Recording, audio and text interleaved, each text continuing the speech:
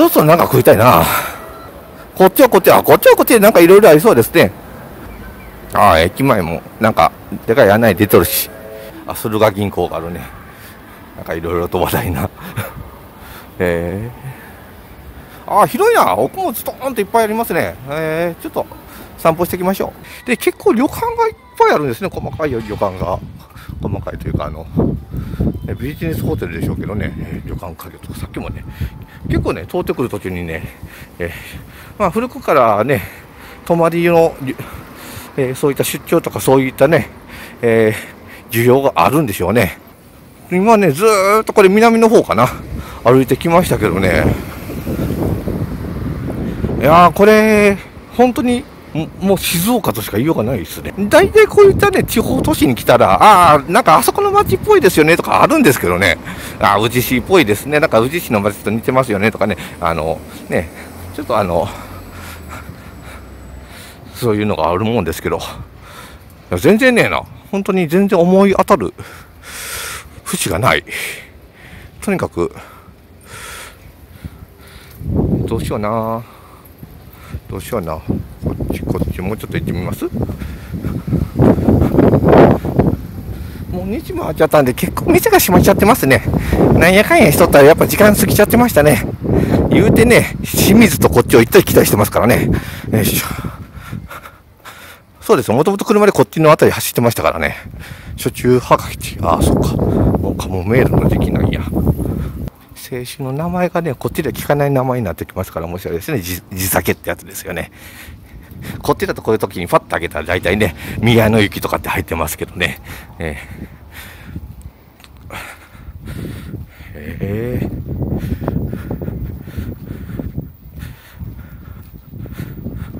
逆に言うと意外とあのチェーン店がないですよね。地元の店が頑張ってるんですね。へえあれ、静岡もあれか、三重県と同じ問題を抱えてるんでしたっけちなみにここは中田らしいですね。濁るんですね。え。ー、と、どっちコーナー向こうの方が大通りがあるんかな。ちょっとあまりにも、書院何これ。島学書院え？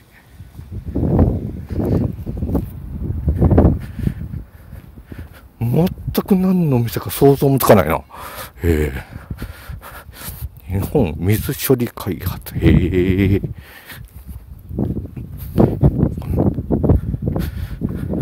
こんな静岡の、えー、片隅で日本の水の処理は開発されてたんですね。へえ。接骨院仲間し、向こうになんか大通りがありそうですよね。さっきは車がガンガン行き交ってますし。あ、でも、なんとか地面締めもしてないし、まあ汗はだいぶかいてましたけど、まあ散歩日和、いやでもね、まっすぐしてるとやっぱりきついな。スーパーがある。スーパーがある。スーパーにこう、こういう時はスーパーの弁当でもいいですからね。あの意外とスーパーって地域性出ますからね。多分、こっちの方に来たらもう楽譜とか売ってないと思いますよ。大内山牛乳なんて絶対売ってないはずですからね。ね信じられますか？スーパーに行って大内山牛乳がないって。ねこっちで当たり前なんですよ。多分高梨やと思いますよ、こっちは。ああ、小祝いかもしれんな。どうなんでしょうね。よし。スーパー見てきましょう。暑いんだ、とにかく。涼みたい。へえ。ってことでね、藤屋さん寄ってきましたけどね、いや、来たかいありましたよ。これね、びっくり。いや、すごいのが取れました。あのね、まあ、ちょっと買い出ししてきたんですよね。まあ、お弁当どうしようかなと思ったんですけどね、まあ、もう食うところもね、時間がもう2時半近くになってますからね。とはいえね、弁当を買ってもね、あんま広げるところもないしで、まあ、とりあえずフライものとね、中でちょっとね、買っとけるものと思ったんですけど、ちょうどいいのが売ってたんですよ。ちょっと後で写真ね、載せときますよね。あのね、あの、サンドイッチが売ってたんですね。いや、サンドイッチのやつどこでも売ってるやろうって言うんですけどね、これなんですよ。あの、東海圏でしたっけ？あのね、駅弁で有名なやつですね。あの、えっ、と、正確に言うと駅弁って言ったらいけないらしいんですけど、あの、駅で売っているので有名な、あの、新幹線の小田原駅だったか、熱海駅だったっけ？どっかでね、あの、売ってるので、あの、名物なね、サンドイッチがあるんですけど、なんとね、さすが地元ですね、スーパーで売ってるんですね、これ。あの、しかもね、入れ物もね、そのね、あの、新幹線で売ってるやつそのままですよ。え、あの、後でね、あの、写真出しますけど、いや、これはね、すごいな、いや、いいや、静岡ってスーパーでこれが売ってるんやな、すごいですね。へえ、まあ、ここのスーパーだけかもしれませんけどね。いや、さすが、いや、来たかいあったな、こっちまで。ええよいしょ。あ、そうだ。俺は大通りに出ようとしとったんやったな。へえ。これまた、大通りから一本入ったところなんですけどね、なんか、また、えらい。風流な着物屋さん、ね、あるなと思ったら、その奥になんか、また、これは、営業はさすがにしてないよな。ええやってる？あ、いや、もう営業はしてないのか。な、営業はしてなさそうですね、あ、残念。そうですね。なんか、物がいっぱい積んでありますよね。へえ。やったんですよね。へ